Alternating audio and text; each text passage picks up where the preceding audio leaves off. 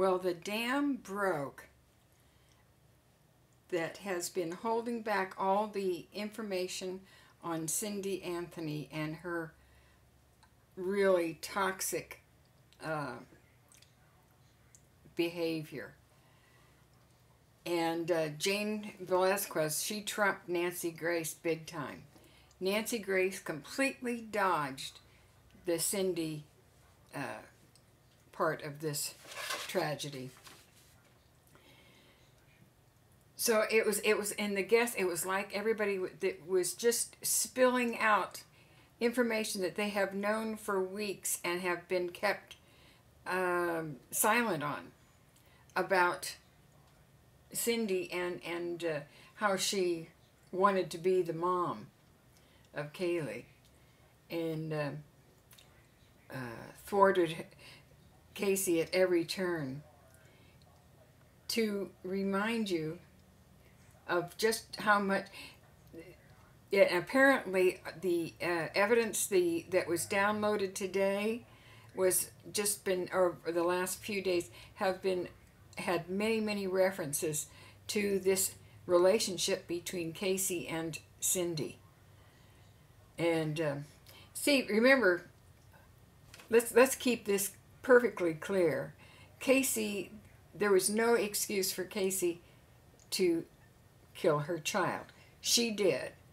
She's going to get the death penalty until, unless her attorneys um, do the right thing and plea bargain her down instead of letting this thing go to trial and um, uh, so that they can get more publicity.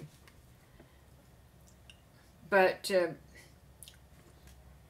all the guests were they were finally coming out and saying yes she wanted to be the mom. She was playing the role of mom and she was interfering with casey's uh, mothering.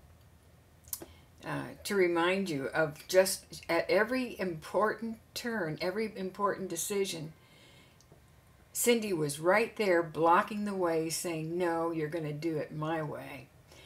And that went for when she no abortion and then later, when uh, Casey had an opportunity to uh, give the child an adoption to her friend who was um, unable to have children, Cindy blocked that, said no. And uh, the day that Caylee was born, she was placed in the arms of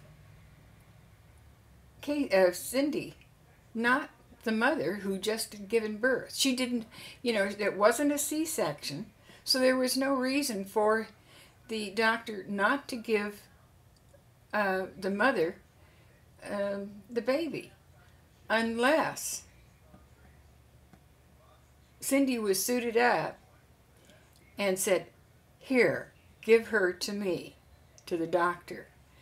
And the doctor, not wanting to make any sort of scene, handed the baby to Cindy. That I, I can picture that happening. We don't know that, but I, I can picture it. And then, of course, we have um, her, they, they brought out the part about uh, that Cindy was trying to get the baby to call her mommy. And it's not only Casey's word.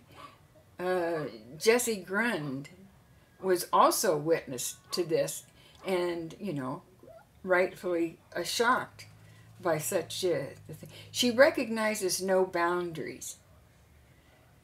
The world is her boundaries. She can do anything she wants. And I think that she just kept it up, kept pushing and pushing on, she would say, we're going to take that baby away from you. You're a bad mother. And meanwhile, she's going ahead and she's obsessive compulsive over wanting a baby. She should have had her own baby if she was so keen on having a baby. Well, too late for that. But anyway, I see Casey in a situation where she was there was uh, she was damned if she did she was damned if she didn't. If she didn't know didn't uh, uh, do as cindy told her to do then she was you know out of out of a, a place to live. And i can see that.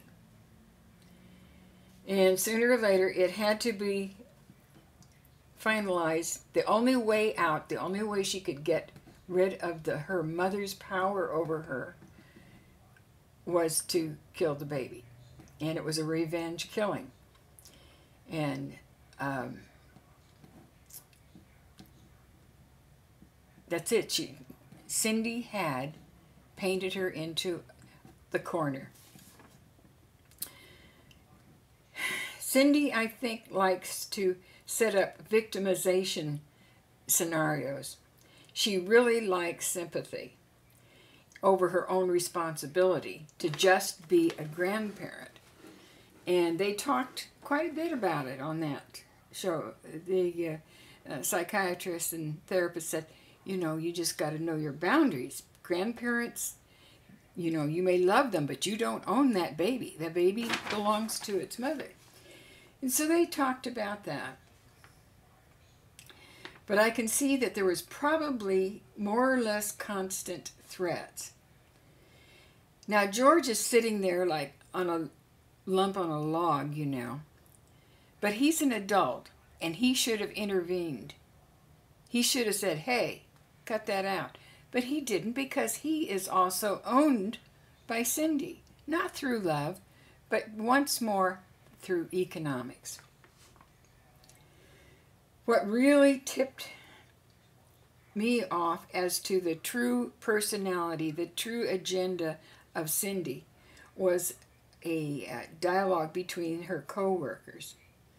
And uh, she was, you know, complaining to her co-workers about how Casey was just, you know, neglecting and was a terrible mother. And the co-workers said, well, go for custody. And Cindy comes back with a yes, but. No, can't we can't afford it. Well, they're affording it already. But anyway, it's people like this that complain to you. And when you come up with a suggestion, they come up with a yes, but. And then you know you've been had. You know, these people that go and take their problems to work, you know, are not, they're doing no one a favor because it just gets the coworkers down and frustrated by these hearing these stories, knowing that the your uh, that Cindy is not going to ever do anything about it. She enjoys complaining about it too much. So anyway, of the three shows, only one, and that was um, Jane's show, talked about Cindy.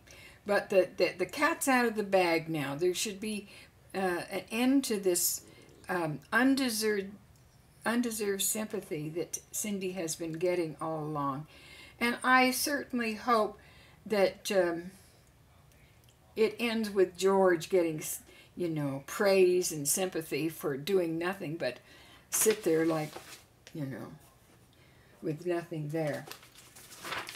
Um, in the crawl across the bottom of the screen, it was said that uh, friends say that uh, Casey had a miscarriage in 2007. Well, I think that was probably just another, you know, it was like her father having a stroke and it was in the hospital. You know, I think it was one of those tales. But I don't think, I think we're talking about two separate alleged miscarriages. One pre-Caylee and one post-Caylee, uh, as near as I can figure out. But I, I'm seeing a very odd resemblance here. Cindy really wanted that baby. She really wanted. And there's somebody else I know that's in the news here that really wants babies. Where are they afflicted with the same sort of uh, problem? Anyway, that's enough for today.